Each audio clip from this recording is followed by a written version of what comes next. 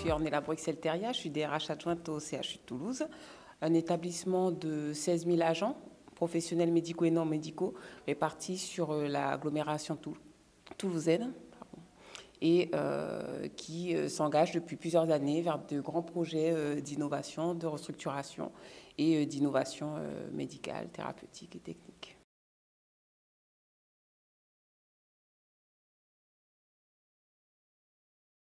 La, question du management n'est pas vécue comme une problématique chez nous. C'est d'abord un levier euh, de performance que, sur lequel on, investit, on croit beaucoup au sein de l'établissement. Et pour nous, euh, le manager est un acteur clé de l'accompagnement du changement et euh, de, l'accompagnement de l'ensemble des projets que l'on a déployés sur les prochaines années. Donc, par rapport à, à, cette question, on met en place un dispositif de détection, d'accompagnement tout au long de leur carrière pour accompagner sur le long terme tous les projets que l'on a prévus dans notre projet d'établissement.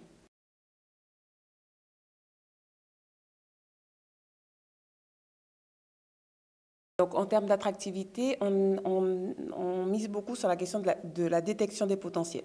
Donc, on a mis en place des filières de détection de potentiels. On a d'abord commencé par la filière de cadre de santé et on a élargi cette euh, filière de détection au cadre de différentes filières techniques administratives.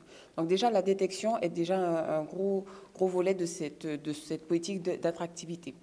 Et ensuite, euh, tout un parcours d'accompagnement, à la fois avec de la formation, du coaching, des ateliers, euh, d'analyse des pratiques, que l'on met en place tout au long du parcours d'apprentissage du professionnel et euh, bien évidemment par le biais de la promotion professionnelle aussi le financement de scolarité dans des écoles de management, de cadre pour les professionnels qui vont intégrer nos équipes d'encadrement.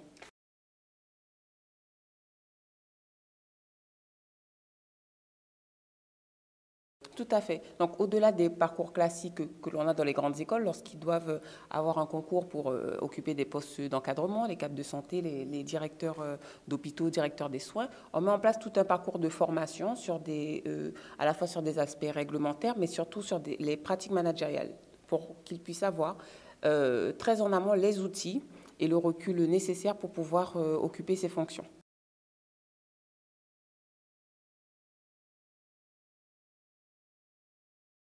Tout à fait, tout à fait, parce que le, on a régulièrement des formations management euh, dans des écoles spécialisées ou dans des écoles euh, pour la fonction publique hospitalière. Et c'est vrai que cette, cette formation euh, pluridisciplinaire, puisqu'elle intègre d'autres professionnels de la fonction publique hospitalière, c'est un, un, intérêt majeur pour nous, que ça permet aussi de croiser les regards, croiser les expériences et les expertises sur ces questions de management. Le management dans la fonction publique publique hospitalière est euh, assez particulier et cette ouverture vers d'autres euh, euh, fonctions publiques est vraiment un enrichissement pour nos professionnels.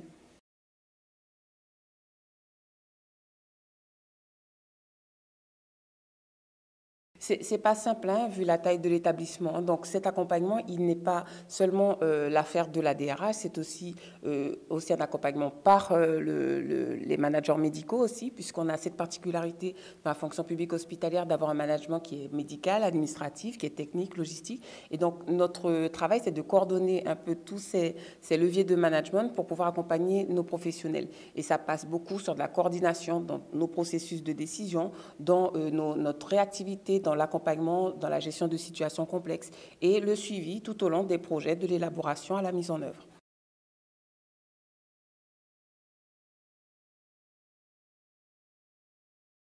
Or, c'est pas très simple parce que nos professionnels sont habitués aux questions d'innovation médicale, technique. Ils ont cette habitude. Néanmoins, sur les aspects organisationnels et managériaux, il y a encore des difficultés à appréhender euh, ce volet d'innovation. Et donc, par rapport à cela, nous, euh, nous, nous employons en tout cas à accompagner nos professionnels à la fois sur la formation de, nos, de nos managers, mais aussi sur des retours d'expérience, euh, sur des accompagnements de projets, de situations.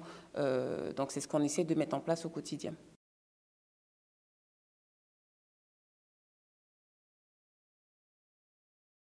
Trois mots, c'est une, une, dynamique d'innovation qui est partagée. Donc ça fait quand même du bien de voir qu'on est tous dans cette dynamique d'innovation. Euh, ensuite, une journée très riche, parce qu'on a pu aussi se nourrir des retours d'expérience des différentes fonctions publiques Et euh, je pense qu'on est tous partis avec des idées nouvelles et aussi des points de vigilance aussi euh, à avoir au sein de nos fonctions publiques euh, hospitalières. Et puis surtout l'envie de réitérer ce type d'expérience parce que on a eu des enseignements lors de cette journée, mais je pense qu'avec le recul, ça serait intéressant de revenir pour voir où nous en sommes et, et les nouvelles innovations qu'on a pu initier dans nos différentes fonctions publiques.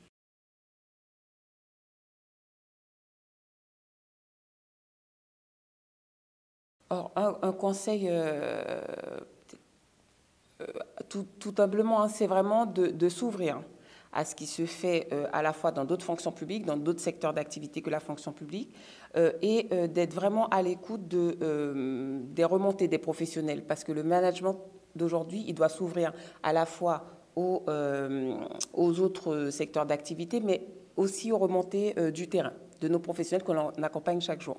Donc c'est vraiment ce, ce, conseil-là, c'est vraiment l'ouverture et le partage. Et donc d'arriver à bien articuler, euh, l'injonction de, du descendante politique avec les remontées du terrain Tout à fait. Et ça, c'est notre jeu d'équilibrer au, au quotidien.